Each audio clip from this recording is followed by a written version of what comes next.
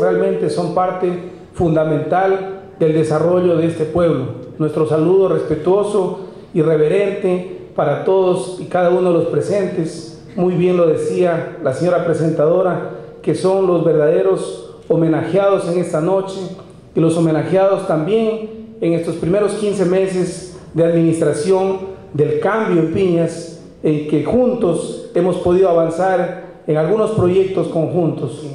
Y mucho más agradecerles por esa tan importantísima participación que nos dio ejemplo a todos los jóvenes y los no tan jóvenes en el pregón de fiestas, donde realmente el número central fue la participación de nuestros adultos mayores, de ustedes, de ustedes respetables amigas, amigos de Piñas, que han compartido y comparten con nosotros esta ilusión de que juntos sí podemos cambiar las cosas, de que podemos incluir a los niños, a los jóvenes, a los adultos y a todos para que realmente podamos dar lo mejor de sí.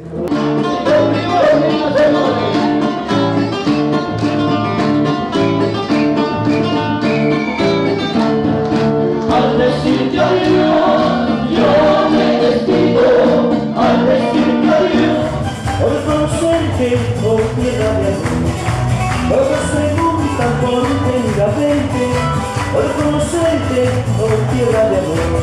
¡Vamos a bailar! ¡Y que viva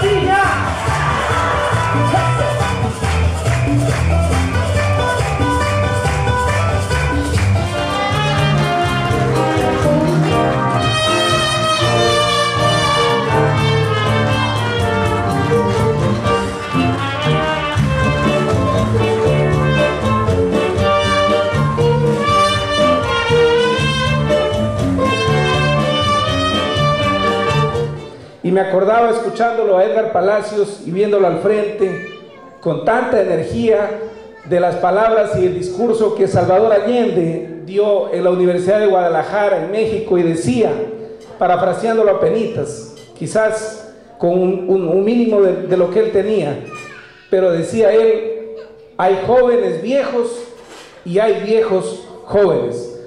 Y nuestros jóvenes deberían aprender de ellos y deberían aprender de ustedes de tanta energía y de tanto esfuerzo que realmente nos enriquecen a los jóvenes para seguir adelante.